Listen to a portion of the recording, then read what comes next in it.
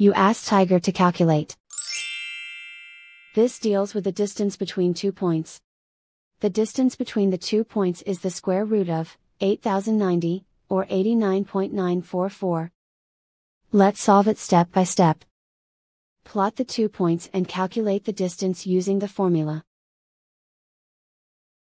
The coordinates of point 1 are, x1 equals 1 and y1 equals negative 79. The coordinates of point 2 are, x2 equals 90 and y2 equals negative 92. D is the distance between the two points.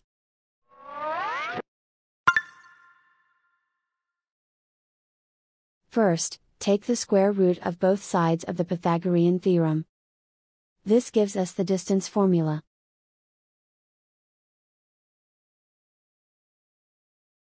Plug the coordinates of the points into the formula. x1 equals 1.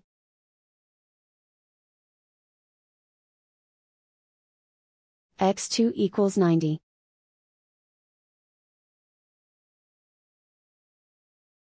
y1 equals negative 79.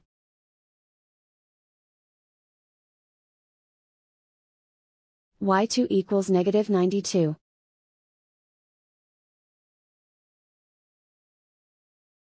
Calculate the expression inside the parentheses.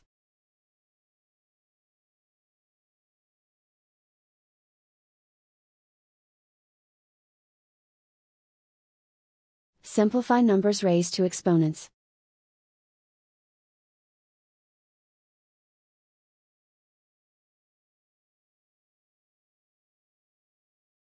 Simplify the arithmetic.